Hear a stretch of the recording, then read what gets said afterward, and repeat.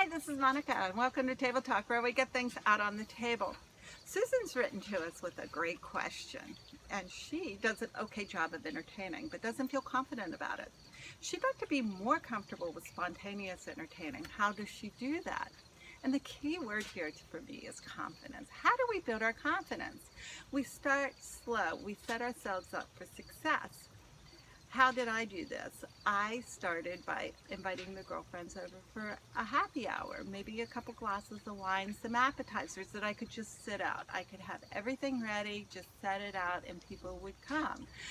And that was awesome because it gave me a chance to visit with my guests. I didn't try a whole full-blown dinner, but it progressed to that because I felt more confident and more comfortable after we had a successful evening. People would come and say, that was just so nice, let's do it again. Let me bring an appetizer.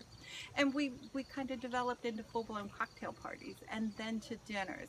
So we took baby steps feeling comfortable with the people and feeling confident really comes when we know what we're doing and we really feel that we've mastered a skill.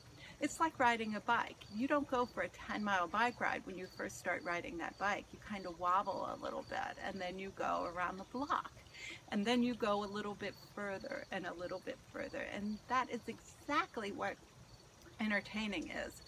So, how did you start to entertain and how did you build your confidence? We'd really like to know because we're community here at Monica's Table. And at Table Talk, that's what we want to do, is help people feel more confident and enjoy themselves when they do entertain. So thank you for joining us and we'll see you next week.